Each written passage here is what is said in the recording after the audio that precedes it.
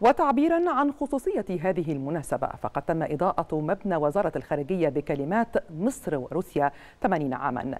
كما تم إضاءة برج الإذاعة والتلفزيون بالعاصمة موسكو الذي يعد من أطول الأبراج في القارة الأوروبية. وتشهد الاحتفالات بين البلدين بهذه المناسبة الخاصة التي تستمر على مدار عام كامل. تشمل تنظيم عدد من الفعاليات والبرامج المشتركة التي تستهدف تسليط الضوء على تاريخ وخصوصية وتنوع العلاقات المصرية الروسية.